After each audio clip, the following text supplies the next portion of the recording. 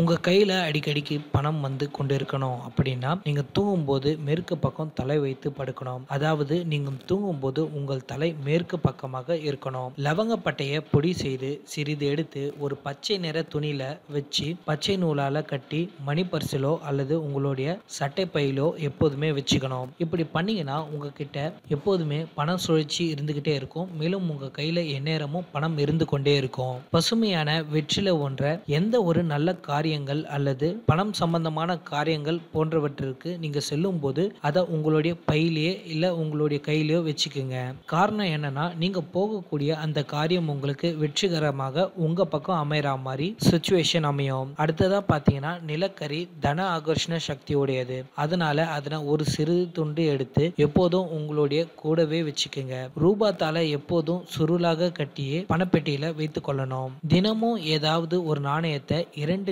வகைகளிலும் பிடித்தபடி உங்களுக்கு பிடித்த தெய்வத்தை மனமாற வேண்டி அந்த காசுகளை சேமித்து வந்து மாத கடைசியில சேமித்த பணத்துல வாழைப்பழம் வாங்கி பசுமாட்டிற்கு தானமாக வழங்குங்க. இந்த விஷயத்திற்காக பணத்தினை செலவிட்டாலும் செலவிடும் பணத்தினை கையில் வைத்து நெஞ்சிற்கு நேராக பிடித்து பிறர் அறியாதவாறு ஓம் ஸ்ரீம் நமக லட்சமாக திரும்பி வா வசி வசி அப்படின்னு ஐந்து முறை கூறி சொல்லி கொடுக்கணும்.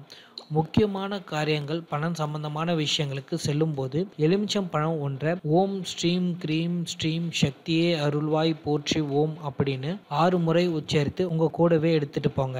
மேலும் வடகிழக்கு மூலையில குடிக்கும் நீரை வைத்து அதுல எலுமிச்சை ஒன்றை போட்டு வைக்கணும். தொடர்ந்து இரண்டு மாதங்கள் இது செய்து வந்தா பணப்பற்றாக்குறை நீங்கி செல்வம் உங்களிடம் கொழிக்கும். இந்த தகவல் உங்களுக்கு பிடிச்சிருந்தா லைக் பண்ணுங்க ஷேர் பண்ணுங்க. மேலும் இந்த தகவலில் ஏதாவது டவுட் இருந்தால் கீழே இருக்கிற கமெண்ட் செக்ஷனில் கமெண்ட் பண்ணுங்க. மேலும் இது இது போன்ற வீடியோக்கள் நம்மளுடைய சேனலில் அதிகமாக இருக்குது. அதனால் இன்னும் நம்மளுடைய சேனலை சப்ஸ்கிரைப் பண்ணாதவங்க மறக்காமல் சப்ஸ்கிரைப் பண்ணிக்கோங்க.